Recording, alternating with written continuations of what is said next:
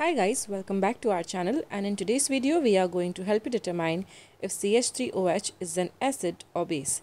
Now it's quite debatable because um, it has properties of both acid and base and hence it is considered as amphoteric. So amphoteric is a term that is used to describe the compound that has both uh, properties properties of both that is acid and bases. So methanol here has a chemical formula of CH3OH and it consists of one methane group and hydroxyl group. So one might argue that how can uh, the compound with OH group can be considered as base.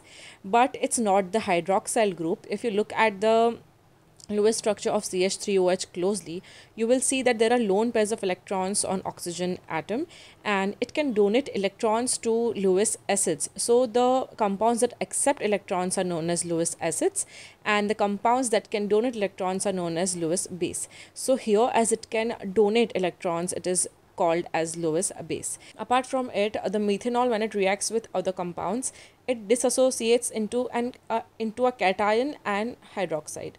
Okay so the compounds that show these kind of properties are known as basic.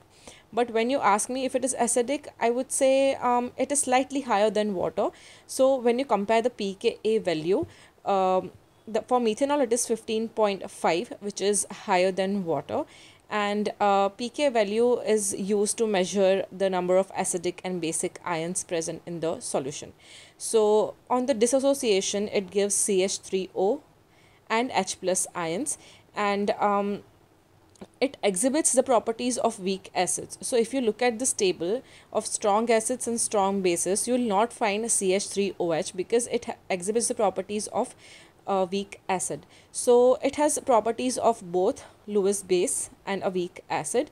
And if you consider, if you want to like uh, talk to talk about methanol in regards with water, we can say that methanol is weaker acid than the water and to sum it up we can say that it is an amphoteric compound as it has both basic and acidic properties and it depends on the molecule it is reacting with it will exhibit acidic or basic property. So in a nutshell methanol is as acidic and as basic as water and is considered as a weak acid. So if someone asks you if it is a strong acid strong base weak acid weak base you can answer that it is considered as a weak acid but it exhibits the properties of both acidic and basic compounds. I hope this video helps you to uh, find out the explanation regarding this highly requested uh, question. And for more such videos on Lewis structure molecular geometry polarity of the molecules make sure to subscribe to our channel. And thank you for watching